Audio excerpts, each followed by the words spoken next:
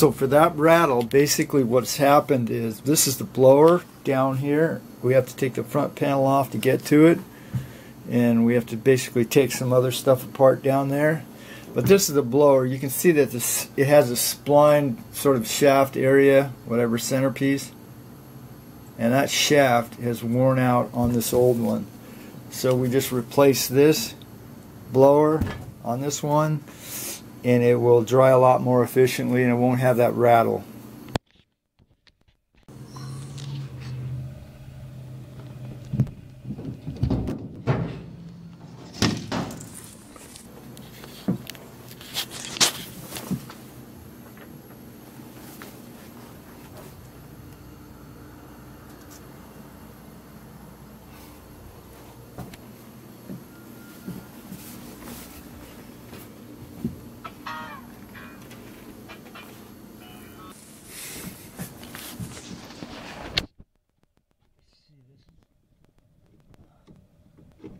loose, it's loose on the shaft.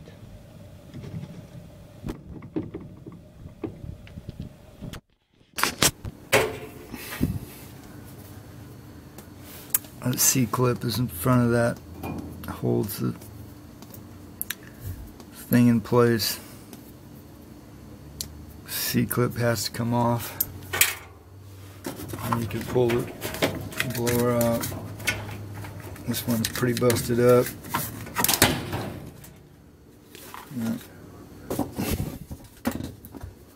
There's the new one.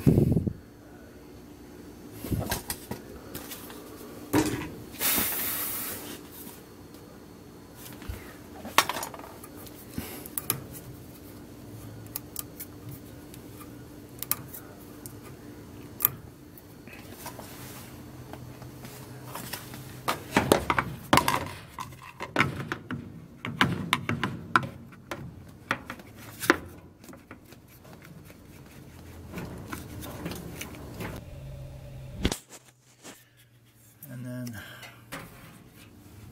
C-clamp has to go back on. And then the clamp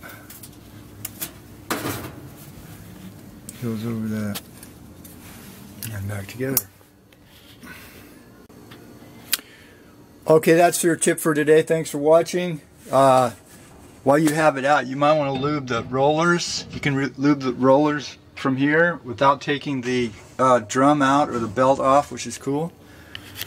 Okay, when you put the clamp on, make sure the clamp, the clamp edges are facing the flat spline on the shaft.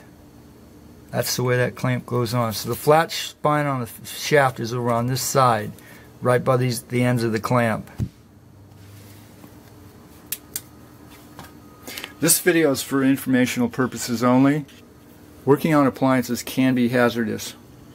If you need a professional, contact your local professional directly. If this video helped you, please send me a donation. Bill's Recycling Enterprises, P.O. Box 7021, Eureka, California 95502. I can coach you over the phone for a fee, 707 443 8347. I also have a How to Make Money in the Appliance Repair uh, online course. It involves a year of coaching. I give you personal coaching and a link to over 100 videos. If you're interested, uh, contact me.